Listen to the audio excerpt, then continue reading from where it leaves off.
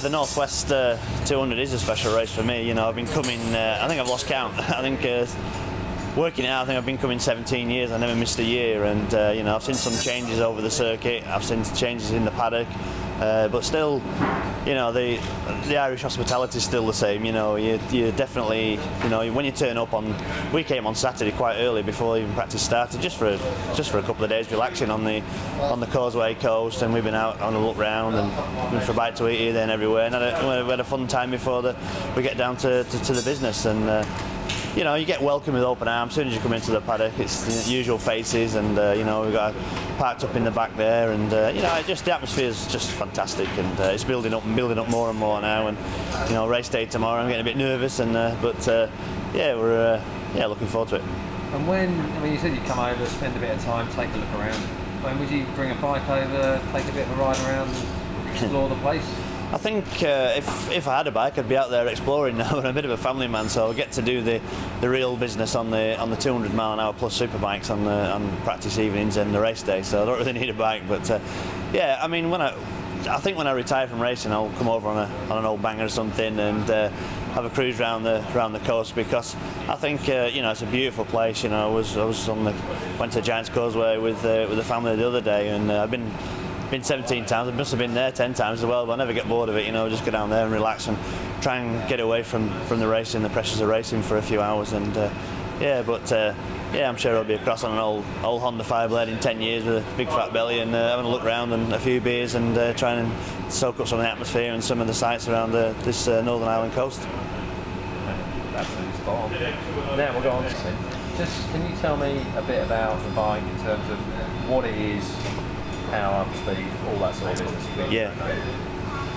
Well, the bike I'm riding is, uh, is a HM Plant Honda CBR 1000 Fireblade. Uh, it's in its third year of development. Uh, fantastic bike. I've ridden the HM Plant bike here since 2008, 2009, and this year, so I feel really familiar with the bike. Uh, yeah, it's not, not not too far away from the superbike spec. It's a bike I used at the TT as well last year, so it's it's got the wide pegs on, the big screen, the uh, got a big fuel tank on it, 24 litre fuel tank, and that's about it really. It's a sort of a basic package that works for us, you know, and uh, we've refined it for the last three years, and uh, you know, whatever you say about anything, it's probably the most reliable package out there as well. You know, it's uh, it's the best hardware, the best tools for the job, and you know, we're on pole position for the race, so no pressure. But you're very relaxed, very casual about everything, but you're also the fastest road racer of your generation. Oh, I like that one. All time. I don't know about that. Well, no, the well, speeds, so. Yeah. So, what is it about the road for you? You know, I, I get asked this question a million, millions of times, you know, and I never have some textbook answer for it. I, I, haven't really got an answer for it. I just, you know, when I first came across air racing in '93 uh, and did my first TT in '96, and you know, they're really the only races I've done. I haven't done any of the, the smaller races over here, but I mean, them two big main races have been been real good to me, and uh, I've really enjoyed them. I've just grown up around it. You know, my dad used to race, and uh, remember going across to the TT in 1982 for the first time to watch like Graeme Crosby, Ron Haslam, Joey Dunlop, and uh, you know Roger Marshall, Mick Grant, and all these boys, and all massive TT winners of the time. And I, I, don't know, you know, when you watch, I don't know if you watched something as a kid, but when I watched it, it just blew me away. I just thought that's a bit of me one day. You know, I'm going to win one of them, and uh, you know, here I am with 15 TT wins, and it's pretty bizarre, really. I would, I would have, if somebody had said you'd have won 15, I'd probably laughed at it and, and never believed it. But uh, you know, I mean. I've, I've worked hard at it. You know, it's not just I haven't had a magic one given to me. You know, I've worked hard, ridden for different teams and ridden you know different bikes and built the experience up. And you know, and uh, now we're you know with the experience I've got on the roads, it, it definitely helps. And uh, you know, we're getting, still getting to ride some brilliant bikes around the around the Northwestern TT, which which really helps and. Uh, you know, makes my life a little bit easier, but I still have the burning desire to, to ride fast on the roads, you know, and nothing left to prove, but you know, when you win a race on, on, the roads and you stand on the top step and, you know, you're spraying the champagne and you're listening to national anthem, well, I don't think any, anything can beat that, as far as I'm concerned. What about the danger? Again, it's another question you've been asked a million times. Mm. You've seen mm. friends, mm. other mm. riders who aren't sadly here anymore. Mm. How do you square that with lining up tomorrow on pole position and yeah, I, I, mean, I do think about it. You know, I've been racing quite a long time, and you know, the odds against it are stacking up a bit. So, but uh, I don't know. I just try and try and be careful. You know, like yesterday the conditions were a little bit iffy, so I didn't really push too far. And if I'm not happy in myself and I'm not feeling confident with it with the bike and the package, I won't try and push the envelope. You know, I'll just try and all I can do is ride as fast as I can ride.